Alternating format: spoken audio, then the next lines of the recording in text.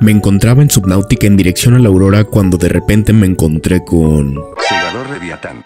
Y mientras encaminaba mi huida, me encontré con una pequeña isla que me permitió apreciar al querido Leviatán fuera del océano y se me ocurrió escanearlo nuevamente intentando no cometer los errores del pasado, tomando en cuenta que no contaba con un rifle de éxtasis, lo cual hacía la tarea más emocionante. Con esto descubrí que el rugido del Leviatán se transmite mucho mejor por el agua, y tras arriesgarme varias veces para traerlo a superficie, lo conseguimos, haciéndole honor a la nota motivacional.